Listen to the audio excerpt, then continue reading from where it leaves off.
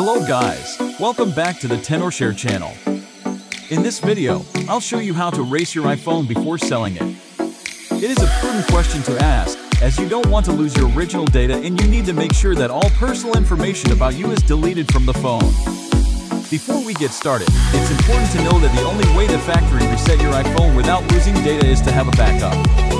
Let's have a try. Quick note. iCloud is Apple's cloud storage service, and it's a great way to back up your iPhone. So go to the settings page. Tap on your name. Tap on iCloud. Tap on iCloud Backup. Make sure that iCloud Backup is turned on. Tap on Backup now. Your iPhone will now start backing up to iCloud. Depending on how much data you have, this may take a few minutes or even hours. The second method is to back up your iPhone to iTunes. Connect your iPhone to your computer using a USB cable. Then open iTunes. Click on the iPhone icon in the top left corner of the iTunes window. Click on Backup Now. That's how to back up your iPhone data. Make sure the backup is complete before you proceed. Method 1. Factory Reset iPhone in Settings.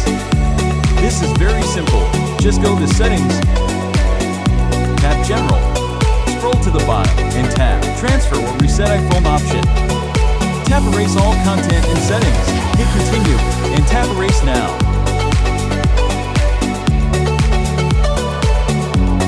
Once the process is complete, your iPhone will be reset to its factory settings.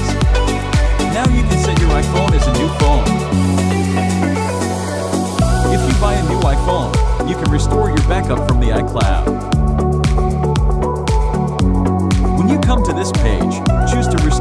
iCloud Backup. Log your Apple ID and enter the verification code. That's it. Your backup is restored. Method 2. Factory reset iPhone with iTunes or Finder. First, connect your iPhone to your computer using a USB cable. Then open iTunes or Finder. If you are using iTunes, click on the iPhone icon in the top left iTunes window. Click the Restore iPhone option. Restore it.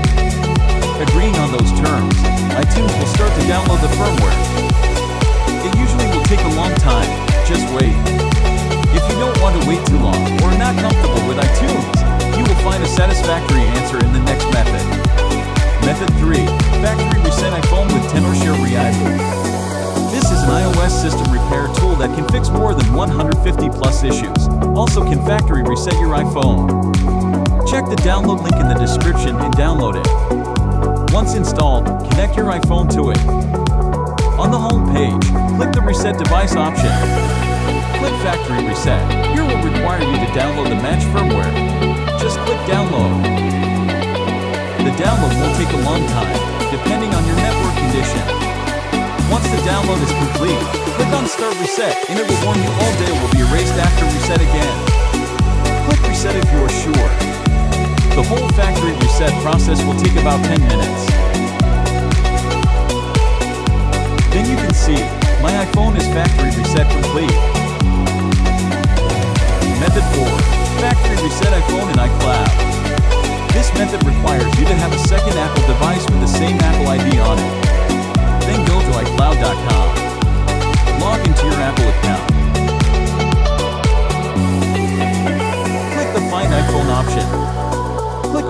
devices on the top and choose the one you want to factory reset.